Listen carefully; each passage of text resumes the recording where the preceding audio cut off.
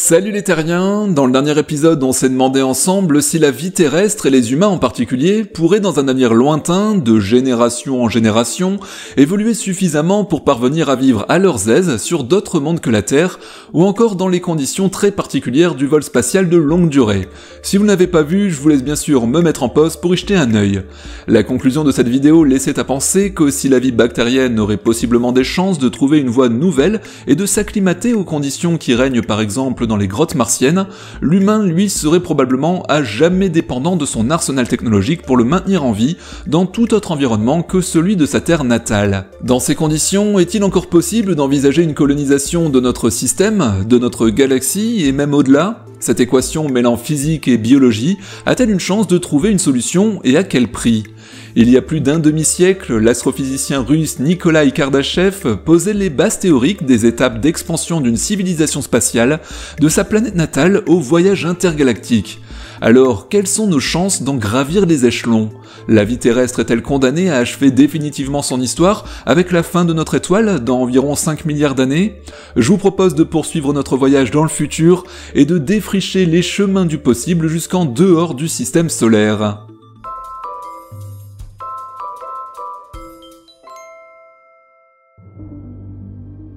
La science-fiction a déjà exploré à peu près sous toutes ses formes l'idée de colonisation humaine de la galaxie. Et si la plupart du temps, entre hyperespace, téléportation et autres espaces-temps repliés, les auteurs ne se privent pas d'inventer leur propre façon de rendre le voyage interstellaire aussi simple qu'un trajet en métro, il y a aussi à l'autre bout du spectre quelques extrémistes de la hard science qui imaginent leur vaisseau générationnel jusqu'au dernier boulon. Et si vous le voulez bien, aujourd'hui c'est plutôt de leur côté que je voudrais regarder. Car comme on l'a déjà abordé dans l'épisode sur le vaisseau d'Avatar, si l'on se contraint à ne pas violer les règles de la physique connue, alors ces trajets ne peuvent être que longs, très longs, et même en supposant nos vaisseaux capables d'atteindre quelques pourcents de la vitesse de la lumière, ce qui est déjà énorme en considérant les quantités fabuleuses d'énergie en jeu, il faudrait au mieux compter des dizaines d'années, et le plus souvent des siècles, pour se rendre d'une étoile donnée à l'une de ses voisines directes. Pas question donc dans ces conditions de déménager à volonté d'une planète à l'autre, nous sommes d'accord.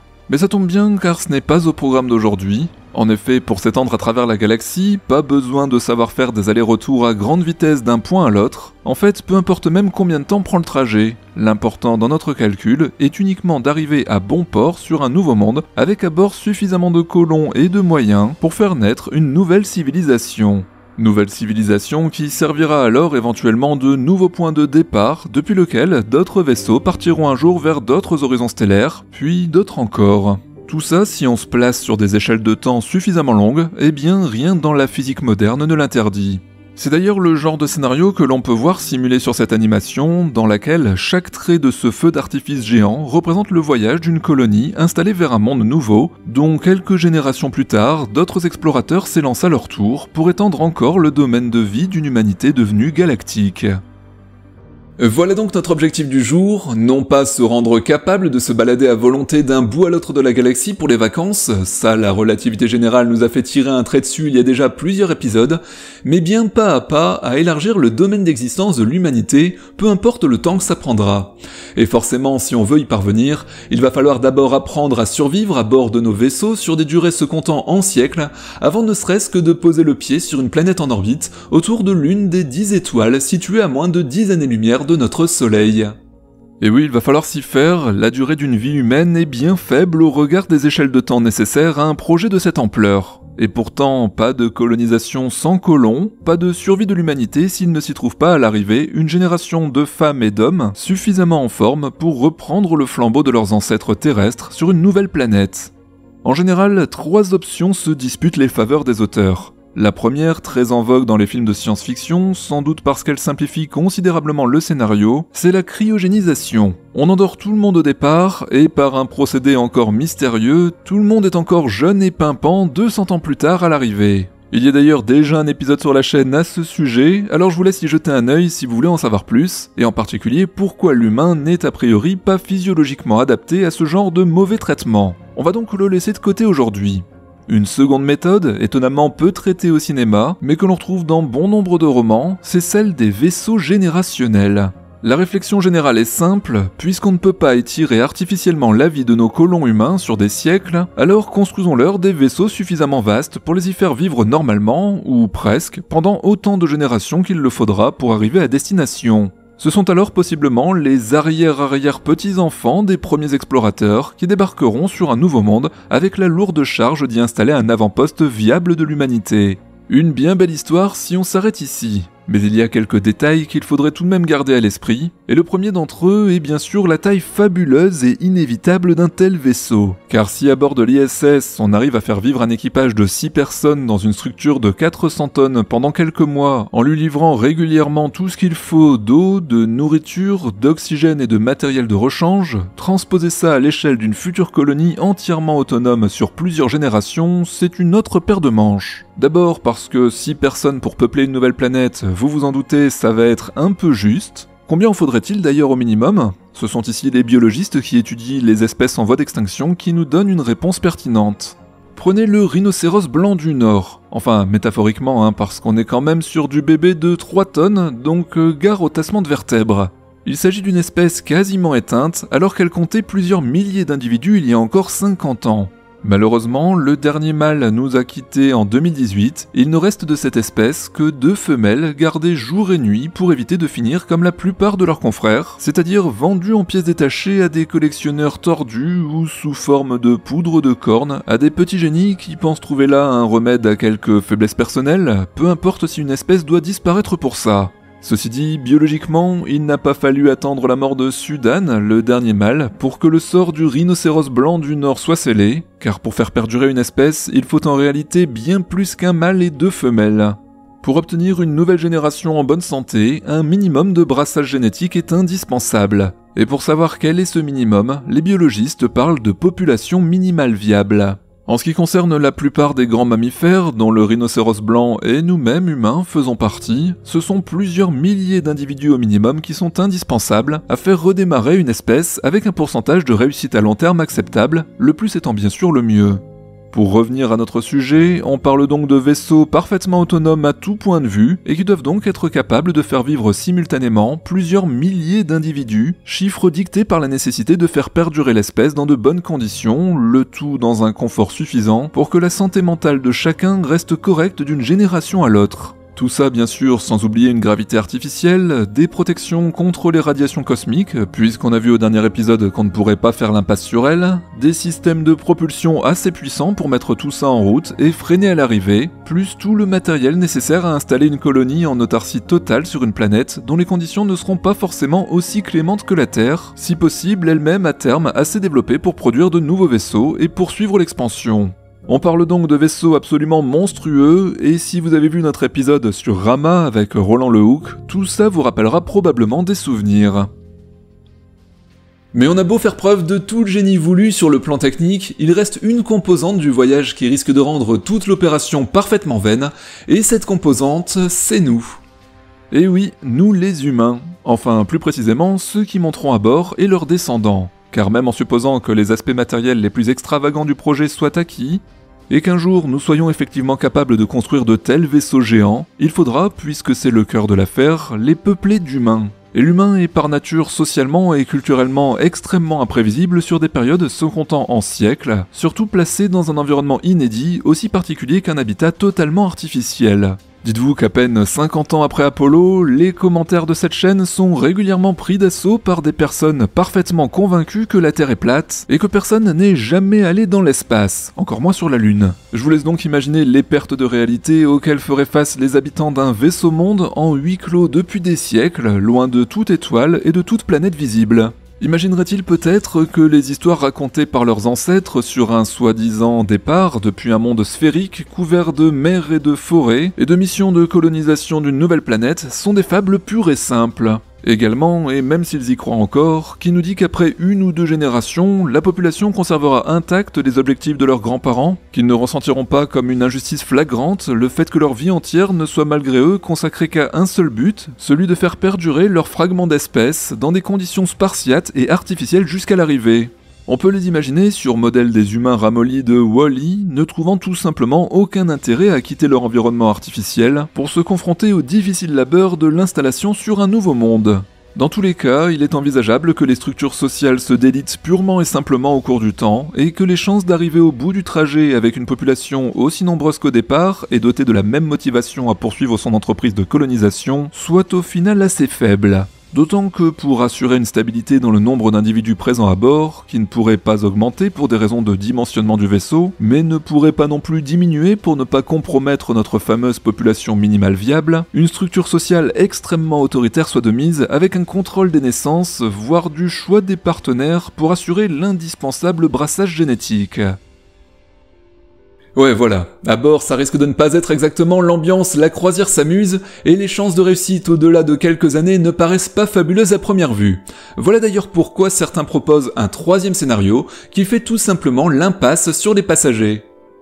Cette méthode, que l'on retrouve à peu près dans le fameux plan B du film Interstellar, c'est l'envoi à travers la galaxie de vaisseaux contenant non pas des humains adultes, mais leurs embryons, voire leur simple information génétique qu'ils reviendraient une fois arrivés sur place à des machines de faire naître et d'élever. Bon, si la possibilité biologique de faire survivre pendant des siècles, puis naître des embryons de façon totalement artificielle, sort un petit peu de mon domaine de compétence avec ma licence de biologie, ça remonte, il est certain que d'un point de vue technique et énergétique, cette solution présente de nombreux avantages. Pas besoin de systèmes de vie complexes, de vaisseaux capables de faire vivre des milliers de personnes, ni de sociétés autoritaires. Seuls les frigos contenant le précieux ADN et les machines destinées à l'installation de la nouvelle colonie seraient de la partie. Enfin, sans oublier aussi celle chargée de jouer le rôle de parents bienveillants ou de veiller à la bonne santé et à l'éducation de nos tout premiers humains interstellaires. Car si dans le cas du vaisseau générationnel l'on s'inquiétait il y a un instant des dérives culturelles qui pourraient aboutir à l'effondrement du projet dans son ensemble, alors quoi penser d'une génération entièrement élevée et éduquée par des robots, des intelligences artificielles, avec tout ce que cela implique de limites et de liens affectifs? Sachant qu'il reviendra à cette première génération d'élever à son tour la seconde, avec comme modèle à reproduire les liens qui les liaient eux-mêmes à des robots, c'est ici une rupture pure et simple de la chaîne culturelle avec les humains terrestres et leurs modèles parentaux qui serait inévitable on peut alors légitimement se poser des questions sur l'équilibre psychologique et affectif de ces humains nouveau-nés et élevés sans le moindre contact avec aucun semblable adulte. Il ne semble donc pas qu'il y ait en la matière de modèle de mission idéale, mais quelle que soit la méthode choisie, il faut se souvenir que pour installer une nouvelle civilisation sur une planète autre que la Terre, et en supposant déjà que celle-ci soit habitable bien sûr, nos 5000 humains seraient encore loin d'être les seuls à devoir être du voyage. Ah oui, peut-être ai-je oublié de parler de ça, mais il ne faudrait pas laisser de côté que nous autres humains sommes irrémédiablement dépendants d'un écosystème complexe qui sur Terre nous nourrit et nous permet de respirer, et sans lequel nous ne survivrions pas bien longtemps. Je veux parler de nos plantes qui nous fournissent oxygène et nourriture, bien sûr, mais aussi des animaux qui vont avec, car même en supposant un régime strictement végétarien, les plantes, elles, auront toujours besoin d'un minimum de vie animale. Et oui, sans insectes pour assurer la pollinisation, ni aucun des micro-organismes, vers de terre, bactéries et autres champignons qui vivent dans la terre de nos jardins pour en faire un sol fertile, eh bien bonne chance pour faire pousser vos tomates. Il faut donc garder en tête que sur notre bonne vieille terre, tout est absolument interdépendant, et pour démarrer une colonie humaine sur un autre monde, et donc les faire manger, boire et respirer, c'est en réalité bien plus qu'un chargement de femmes et d'hommes qu'il faut acheminer sur place, mais aussi tout ce qui sera nécessaire à créer autour d'eux les écosystème complet dont ils auront besoin. Cela peut faire penser à la colonisation des îles du Pacifique par les premiers Polynésiens qui n'ont pas eu d'autre choix pour survivre que de ramener avec eux sur leurs grandes pirogues à balancier des poules, des cochons et de nombreuses plantes qui se sont installées avec eux sur ces îles jusqu'à y redevenir parfois des espèces quasiment sauvages. À cela près que ces espèces étaient naturellement capables de vivre dans ces milieux en se nourrissant des plantes qui s'y trouvaient déjà. Car la question est là aussi, notre écosystème terrestre sera-t-il lui aussi capable de s'adapter à un nouveau monde? Si vous avez vu notre épisode sur les exotères, ou plutôt leur inexistence, vous savez à quel point le vivant et les conditions qui règnent sur notre planète ont coévolué, notamment en ce qui concerne le taux d'oxygène et de CO2 dans l'atmosphère. Alors sera-t-il possible d'adapter notre faune et notre flore à un ailleurs, à son atmosphère, à sa température, au rythme de ses jours et de ses nuits, ou faudra-t-il, comme nous, les faire vivre sous cloche, dépendant de nos machines? Bref, si je vous dis tout ça, c'est surtout pour appuyer le fait que dans tous les cas, rien de tout ceci ne se produira sans une débauche absolument faramineuse de technologie et d'énergie, et ce pour chacun des vaisseaux qui tenteraient cet incertain voyage. La colonisation de la galaxie ne se fera définitivement pas en version low cost.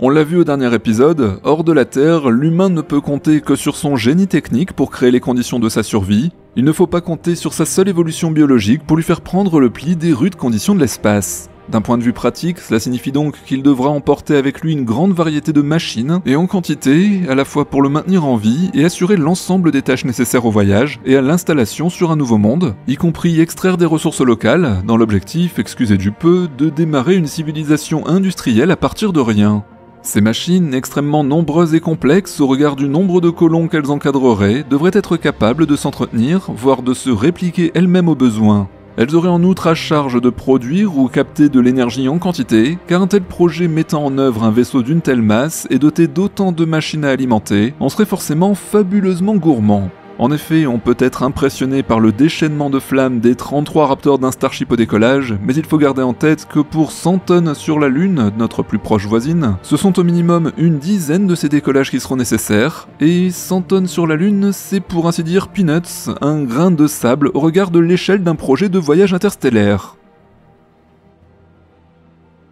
Mettre en route une arche telle qu'on l'imaginait juste avant, même dans le cas le plus léger du troisième scénario, serait ainsi un gouffre énergétique qu'il est difficile de se représenter. Et il est donc temps, pour tout de même essayer de s'en donner une idée, de vous parler de l'échelle de Kardashev. Nikolai Kardashev est un astrophysicien russe qui, en 1964, alors que l'humanité progresse à pas de géant dans les années folles de la course à l'espace, a tenté de poser les bases d'une science de la prospective à l'échelle du cosmos, en tentant de qualifier les différents niveaux de développement d'une espèce quittant sa planète et les conséquences de telle civilisation en termes de consommation d'énergie. Le niveau 1 de l'échelle de Kardashev, aussi appelé civilisation de type 1, correspond à une espèce capable d'exploiter l'ensemble de l'énergie disponible sur sa propre planète. Cette énergie peut être employée sur sa planète bien sûr, mais aussi pour voyager en dehors d'elle. C'est ce que nous faisons par exemple lorsque nous envoyons des astronautes se poser sur la Lune en se propulsant grâce à des ergols chimiques produits sur Terre. Si vous vous souvenez de notre calcul dans l'épisode sur le vaisseau d'Avatar, le voyage vers Pandora avait dû coûter pour un seul aller simple une quantité d'énergie comparable à tout ce que l'humanité avait produit dans son histoire. On peut grossièrement faire le rapprochement entre une civilisation de type 1 et cette humanité capable d'envoyer à l'unité des missions de reconnaissance vers d'autres systèmes. Ce niveau 1 est celui que, dans l'esprit très optimiste de Kardashev, l'espèce humaine s'apprêtait à atteindre dans les décennies ou au pire les siècles à venir lorsqu'il a publié son étude. Une civilisation de type 2 serait, elle, capable d'exploiter l'intégralité de l'énergie de sa propre étoile, soit 10 milliards de fois plus que la première. Là ça devient sérieux, on peut penser à cette technologie hautement science-fictionnelle que sont les sphères de Dyson, qui entoureraient le Soleil pour en capter le moindre rayonnement, et on se rapprocherait alors en termes d'énergie d'une espèce capable d'aller et venir à sa guise dans la galaxie, sans pour autant faire fi des limitations de vitesse dues à la relativité générale, et donc aux conditions de voyage interminables que l'on décrivait juste avant. Une civilisation de type 3 serait-elle capable d'exploiter l'intégralité de l'énergie d'une galaxie? Et là, même avec beaucoup d'imagination, il faut bien avouer que ça devient un peu abstrait. Cela dit, cette abstraction et même cette folie des grandeurs ne gênaient pas le moins du monde Kardashev, qui voyait dans la croissance exponentielle de notre consommation d'énergie actuelle la rampe de lancement vers ses prédictions les plus folles. Il imaginait ainsi qu'il nous faudrait quelques dizaines d'années pour atteindre le niveau 1, un peu plus de 3000 ans pour le niveau 2, et puisqu'on est si bien lancé, moins de 6000 ans pour le niveau 3. Cette échelle, toute spéculative qu'elle soit, est tout de même prise très au sérieux par des organismes comme le SETI, qui pour rappel se consacre à la détection d'éventuels signaux extraterrestres, et qui s'en sert entre autres de base de réflexion pour orienter la nature de ses recherches. D'autres niveaux y ont même été ajoutés, avec dans un premier temps une civilisation de type 4, qui se serait tout simplement rendue maîtresse de l'univers dans son ensemble, y compris toutes les formes de rayonnement qui la parcourent et d'énergie noire envisageables. On a même une civilisation de type 5 qui, elle, étendrait son pouvoir sur un multivers en toute modestie. Mais on peut tout de même opposer à cette échelle, ou en tout cas à notre capacité à la gravir, une réalité dont il est bien difficile de se détacher, à savoir que le point de départ de tout ça, c'est nous. Et oui, la progression interstellaire puis intergalactique de l'humanité envisagée par Kardashev repose dès le départ sur une consommation énergétique en augmentation constante et infinie. Or si un tel futur pouvait avoir l'air probable et enviable dans la folie des années 60, il n'est pas exactement certain que ce soit encore le cas aujourd'hui. Plus le temps passe, plus il apparaît que l'énergie disponible sur Terre n'est justement pas infiniment exploitable, et si les énergies fossiles que l'on utilise pour propulser nos fusées nous ont permis un accroissement relativement régulier jusqu'à aujourd'hui, il faut garder en tête qu'elles existent en quantité limitée, qu'elles auront donc une fin inévitable, et qu'à l'heure actuelle, les conséquences de leur exploitation sur la viabilité de notre monde ne vont clairement pas dans le bon sens. Il y a donc un goulot d'étranglement certain devant nous. Alors de deux choses l'une, soit l'humanité passe dans les décennies à venir le cap de l'exploitation massive de ressources matérielles et énergétiques à l'échelle du système solaire, et il peut alors rêver d'accéder à la rampe vers les étoiles théorisée par Kardashev, soit la courbe risque de finir en cloche et les rêves de grandeur de certains se faire étouffer dans l'œuf par la réalité physique. Nous vivons donc possiblement une période assez particulière de l'histoire de l'humanité, dans laquelle la première solution n'est pas encore totalement impossible, mais ses probabilités s'amenuisent à mesure que les ressources terrestres se font plus rares. C'est d'ailleurs probablement ce qu'entend Elon Musk quand il parle de fenêtre étroite dans l'histoire pour faire de l'humanité une espèce multiplanétaire. Vu sous cet angle, les chances de voir l'humanité mettre les voiles vers d'autres systèmes, même dans un lointain avenir, semblent dépendantes d'un créneau de temps assez limité, car pour démarrer cette machine à coloniser, il faut d'abord parvenir à s'extraire durablement de la Terre, à exploiter en masse les ressources spatiales et à y construire les arches géantes dont nous aurions besoin, à concevoir toutes les machines qui nous accompagneraient et à faire vivre tout le monde en circuit fermé. Tout ça partant dans un premier temps de la Terre, le projet s'appuierait nécessairement sur une industrie, une économie, des moyens de recherche et des ressources en énergie bien terrestres absolument gigantesques et stables sur des échelles de temps extrêmement longues. Et tout ça devrait démarrer maintenant, alors que les ressources terrestres en métaux, pétrole et énergie fossile sont encore disponibles en grande quantité, puisqu'il ne faut pas ignorer la possibilité que dans quelques siècles, voire quelques dizaines d'années, elles ne puissent tout simplement plus être suffisantes pour lancer une telle machine. Le rêve un peu mégalo d'une humanité interplanétaire et même interstellaire grimpant peu à peu à l'échelle de Kardashev est à coup sûr un colosse au pied d'argile qui pourrait bien s'effondrer faute d'avoir eu l'occasion de réunir les moyens d'en franchir la première marche. D'autant que la moindre des choses est tout de même de se poser la question de la désirabilité d'un tel avenir interplanétaire.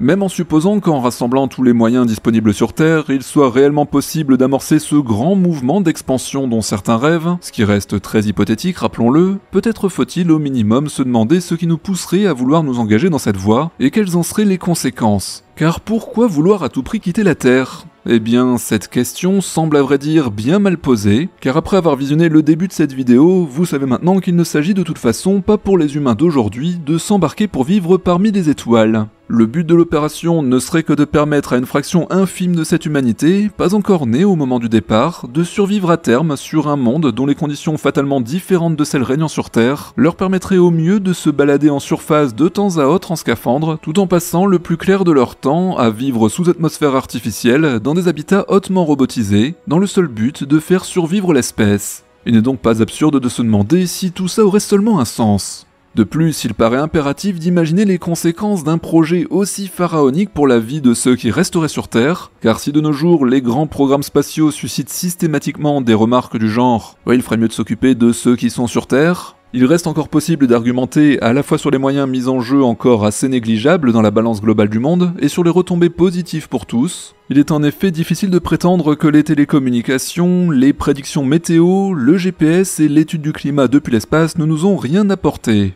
Mais dans le cas d'un tel projet qui ponctionnerait nos ressources matérielles et énergétiques à l'échelle de la planète sans la moindre plus-value pour les vivants d'aujourd'hui, eh, il faut bien avouer que ça pourrait bien avoir l'air totalement absurde. Car si le programme Apollo a drainé 5% du PIB américain pendant plusieurs années juste pour poser le pied sur la Lune, eh bien je vous laisse imaginer l'effort mondial que représenterait la construction d'une seule de ces arches que l'on imaginait tout à l'heure. Et dans la mesure où on ne peut pas dire qu'en moyenne l'humanité ait beaucoup de marge en termes d'accès aux ressources, compromettre la survie des sociétés actuelles pour une hypothétique survie dans des conditions dégradées à long terme sur un monde que personne ne verra jamais pourrait ne pas soulever l'enthousiasme général des foules.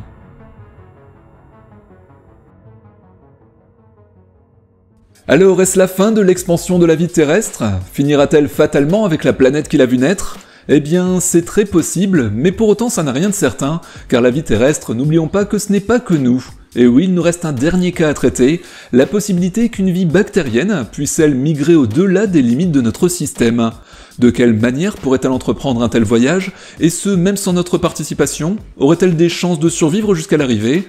Eh bien, cette vidéo est déjà assez longue comme ça, donc si vous le voulez bien, on verra ça au prochain épisode. Nous voilà en tout cas arrivés à la fin de cette vidéo, merci d'avoir regardé jusqu'au bout. N'oubliez bien sûr pas le pouce, l'abonnement, la cloche. Pour toutes vos questions et remarques, l'espace commentaire est tout à vous. Quant à moi, je vous retrouve très bientôt pour la suite. Ciao les terriens